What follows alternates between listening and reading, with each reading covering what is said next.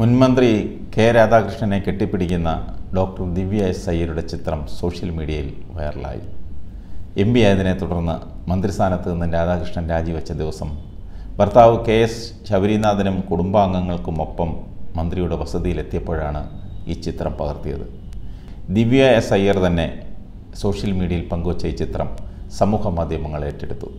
വലിയ ചർച്ചകളും പ്രതികരണങ്ങളുമാണ് സോഷ്യൽ മീഡിയയിൽ നിറയുന്നത്.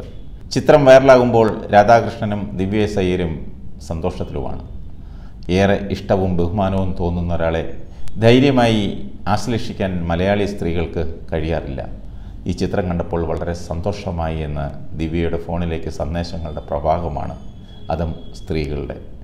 പത്തനംതിട്ട കളക്ടറായിരുന്നപ്പോൾ അന്ന് മന്ത്രിയായിരുന്ന കെ രാധാകൃഷ്ണനൊപ്പം ആദിവാസി മേഖലകളിൽ ഒന്നിച്ച് പ്രവർത്തിച്ച കാലത്താണ് അദ്ദേഹം ഒരു പച്ചയായ മനുഷ്യനാണെന്ന് മനസ്സിലായതെന്ന് ദിവ്യ പറഞ്ഞു. ദിവ്യയുമായി പത്തനംതിട്ട കളക്ടറായിരുന്നപ്പോൾ നല്ല അടുപ്പമുണ്ടായിരുന്നുവെന്ന് കെ രാധാകൃഷ്ണനും പ്രതികരിച്ചു. ഒരു മാന്യനായ രാഷ്ട്രീയ നേതാവിനുള്ള അംഗീകാരമാണ് ഈ ചിത്രമെന്നാണ് പൊതുസമൂഹം വിലയിരുത്തുന്നത്. വിപ്ലവകരമായ ഒരുപാട് കാര്യങ്ങൾ ചെയ്ത ശേഷമാണ് കെ രാധാകൃഷ്ണൻ മന്ത്രിസ്ഥാനത്ത് നിന്നും പടിയിറങ്ങുന്നത്. കേരളത്തിൽ നിന്നുള്ള ഏക ഇടത് എം ആയി തിരഞ്ഞെടുക്കപ്പെട്ട രാധാകൃഷ്ണൻ പുതിയ രാഷ്ട്രീയ ദൗത്യം തുടങ്ങിക്കഴിഞ്ഞു. അദ്ദേഹം ഡൽഹിയിലുമെത്തി. ഏതായാലും ദിവ്യ എസ് അയ്യരുടെ ചിത്രത്തിന് സോഷ്യൽ മീഡിയയിൽ ലൈക്ക് ഓരോ നിമിഷവും കൂടുകയാണ്. ആ ചിത്രം എനിക്ക് അദ്ദേഹത്തോടുള്ള ആദരവ് വിളിച്ചു പറയാൻ വേണ്ടിയാണ്. ചുരുക്കം ചിലരോട് മാത്രം തോന്നുന്ന ആദരവ് ഇതാണ് ദിവ്യയുടെ പ്രതികരണം.